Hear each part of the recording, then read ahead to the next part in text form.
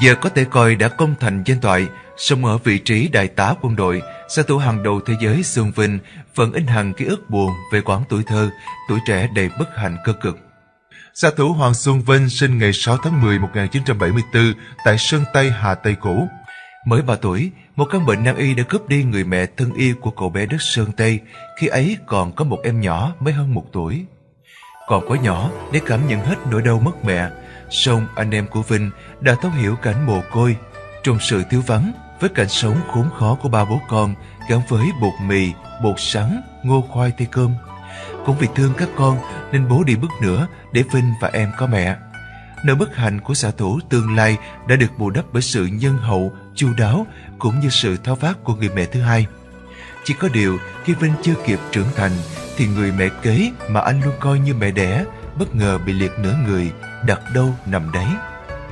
Là con cả, Vinh phải chạy đôn chạy đáo đưa mẹ đi chữa bệnh khắp nơi, rồi làm thêm đủ thứ việc để có tiền phụ thêm mẹ chiến đấu với bệnh tật. Cũng vì để mẹ yên tâm và có thêm người đỡ đần nên chàng sĩ quan công binh trẻ quyết định lấy vợ sớm. Đến giờ Vinh vẫn nhớ như in, sau lễ cưới chẳng dị, hai vợ chồng lại phải vào bệnh viện trong mẹ suốt cả đêm tân hôn. Rồi người mẹ thứ hai của Vinh cũng đã không thể cố được nữa. Bà đã ra đi trong nỗi đau tột cùng của Vinh, người mồ côi mẹ tới hai lần. Những giọt nước mắt một lần nữa tuôn rơi trên khuôn mặt của người đàn ông đầy nghị lực. Đến với sự nghiệp bắn súng muộn, liên tiếp chinh phục các đỉnh cao, xạ thủ sinh năm 1974 này không chỉ trở thành người thay thế xứng đáng mà còn vượt hẳn huyền thoại mạnh tường. Xuân Vinh đã sở hữu một bộ sưu tập huy chương khủng bậc nhất làm thể thao với 200 huy chương các loại, với cả tá huy chương vàng SEA Games, hơn chục huy chương châu lục và thế giới. Thế nhưng trước Olympic, cả làng bắn súng quốc tế đều phải tiếc cho Vinh, bởi xạ thủ số 1 Việt Nam hãy còn đen lắm. cứ đúng vào những thời khắc quyết định ở các cuộc đấu đỉnh cao, anh lại không thể hiện được đúng tài năng hiếm có hoặc để thua đối thủ một cách đầy tức tưởi.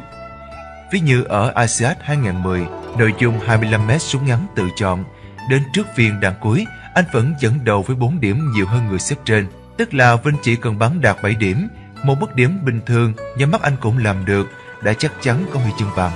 Tuy nhiên, Vinh lại để súng cướp cò, đạn trượt xa đích, anh chỉ đứng hạng năm chung cuộc. rồi nhất với chính đấu trường Olympic cách đây 4 năm, Vinh mất huy chương đồng lịch sử khi để thua người xếp trên vỏn vẹn 0,1 điểm. Với sự non tê khó tin ở lượt thứ 9 trong bài bắn chung kết chỉ đạt số điểm là 7,3 quá tệ. Thất bại đau đớn khiến anh không ít lần phải cố nuốt nước mắt vào trong và quyết tâm lần sau phải làm tốt hơn nữa. Nhưng cố một bước oan nghiệt của Vinh có thể lý giải về mặt chuyên môn, nhưng điểm yếu tâm lý của một xạ thủ mỗi năm chỉ được thi đấu 4 năm giải quốc tế, mỗi ngày chỉ được cấp 100 viên đạn, bằng 1 phần 5 so với các đối thủ hàng đầu thế giới. Tuy nhiên ở một mặt nào đó, nghịch cảnh ấy còn bởi Vinh quá đen và thiếu vận. Nhiều người ngay cả giới chuyên môn từ đó đều lo cho Vinh, thậm chí một số còn luôn thiếu tin tưởng ở anh trước các cuộc đấu lớn. Thế nhưng bản thân Vinh lại không hề nản chí mà ngược lại càng quyết tâm và nỗ lực vươn lên. Nó được thể hiện bằng 10 hay 12 tiếng mỗi ngày giam mình trong phòng tập ở những buổi tối ngồi phát ốc rút kinh nghiệm rồi cách luyện đứng im vài tiếng đến thở mỗi ngày. Vinh luôn tin chắc rằng kiểu gì mình cũng sẽ vượt qua vận nếu cứ coi như nó tồn tại. Năm 2013, Vinh giành huy chương vàng giải súng hơi châu Á.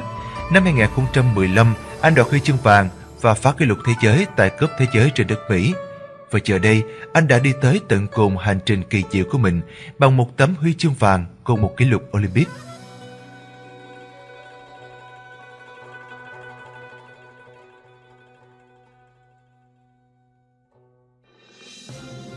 Thanks for watching.